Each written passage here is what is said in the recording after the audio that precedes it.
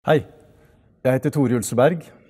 Jeg er spesialist i indremedisin og endokrinologi og arbeider som overlege ved Oslo universitetssykehus og førsteamanuensis ved Universitetet i Oslo. Norske undersøkelser viser at få pasienter med diabetes får undersøkt føttene sine av fastlegen.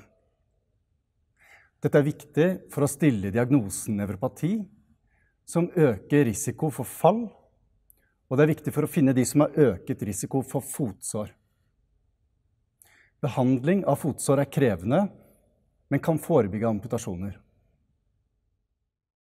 Jeg skal nå vise deg hvordan vi raskt, ved bruk av monofilamentundersøkelsen, kan undersøke føtter hos pasienter med diabetes for å stille diagnosen nevropati og finne risiko for utvikling av fotsår.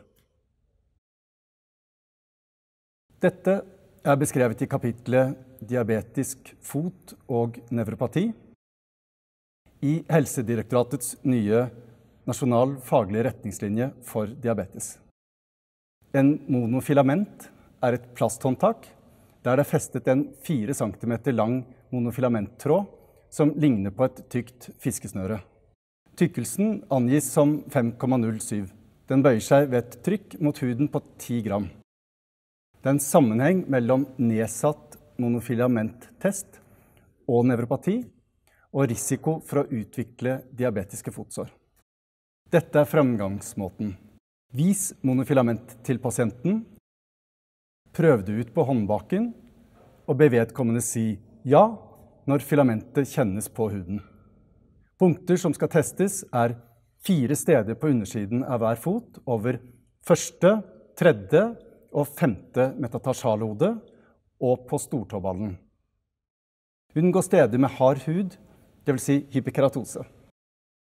Be pasienten om å lukke øynene. Sett tuppen av filamentet på huden under foten, og press til filamentet bøyer seg lett. Spør om pasienten kjenner noe.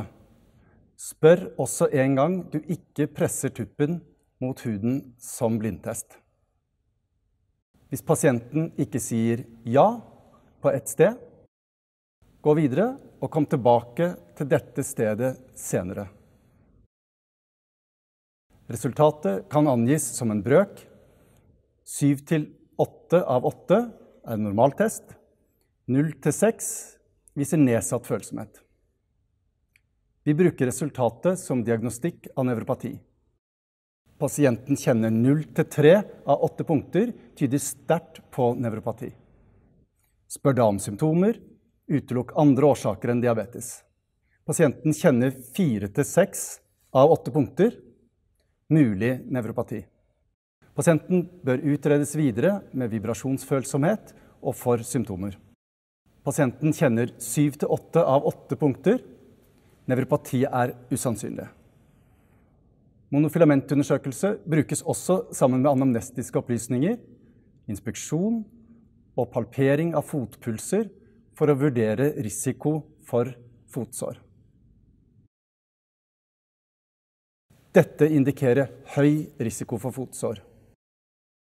1 nedsatt monofilamentundersøkelse, mindre eller lik 6 av 8, og manglende puls på én fot, eller to tidligere sår eller amputasjon, eller tre manglende fotpulser. Det bør være en lav terskel for å konferere med spesialisthelsetjenesten ved fotproblemer hos pasienter med høy risiko for fotsår. De fleste av disse vil ha behov for trykkavlastende fottøy og en tilpasset behandlingsplan. Pasienter med høy risiko for fotsår bør få kontrollert føttene ved hver diabeteskontroll. De bør selv sjekke føttene sine daglig og anbefales å gå regelmessig til fotterapeut. Pasienten bør få utdelt Helsedirektoratets brosjyre 'Høy risiko for diabetisk fotsår'. Disse brosjyrene ligger på Helsedirektoratets internettsider. Dette indikerer moderat risiko for fotsår. 1. Nedsatt monofilamentundersøkelse mindre eller lik 6 av 8. Eller 2. Ikke målbar puls på én fot.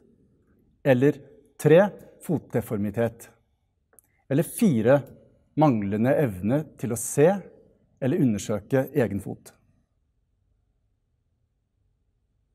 Pasienter med moderat risiko for fotsår bør få kontrollert føttene minst én gang årlig. De bør selv sjekke føttene regelmessig og gå regelmessig til fotterapeut. Pasienten bør få utdelt Helsedirektoratets brosjyre 'Moderat risiko for diabetisk fotsår'. Dette indikerer lav risiko for fotsår. 1. Normal monofilamentundersøkelse. Og 2.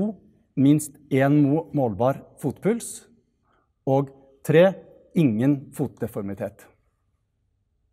Pasienter med lav risiko for fotsår bør få kontrollert føttene årlig og få utdelt Helsedirektoratets brosjyre 'Lav risiko for diabetisk fotsår'. Når det gjelder pasienter med diabetes og sår under ankeleddet, så bør de henvises raskt til spesialisthelsetjenesten dersom pasienten har sår med infeksjon eller sår kombinert med iskjemi eller nevropati,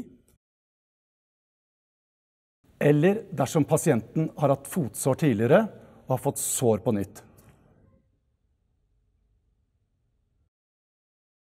Pasienter med diabetes, men uten disse risikofaktorene, bør henvises dersom de har hatt sår nedenfor ankeleddet med varighet mer enn tre uker.